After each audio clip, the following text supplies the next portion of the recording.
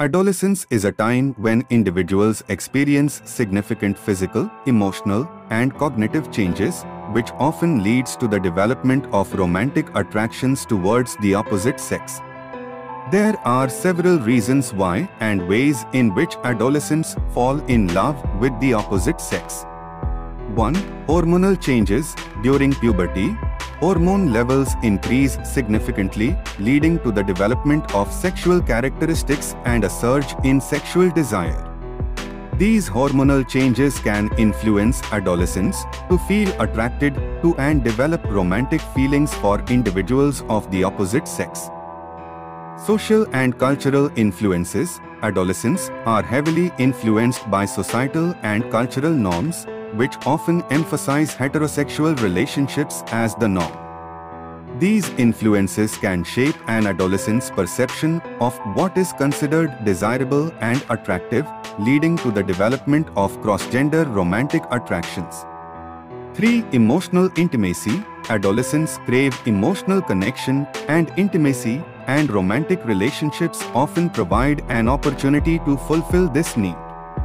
Falling in love with the opposite sex allows adolescents to experience emotional closeness, support, and understanding from someone they find attractive. Exploration and identity formation, adolescence, is a period of self-discovery and identity formation. Developing romantic attractions towards the opposite sex allows teenagers to explore their own preferences, interests, and values. It enables them to understand and establish their own identities and roles within the context of a romantic relationship. 5. Complementary characteristics Opposite sex relationships often involve individuals with distinct qualities and characteristics. Adolescents may be drawn to the opposite sex due to the perception that they possess traits or attributes that complement their own, providing a sense of balance and compatibility.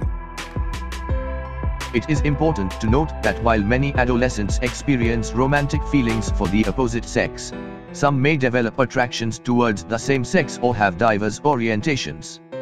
Love, attraction, and relationships can vary widely among individuals, and each person's experience may be unique.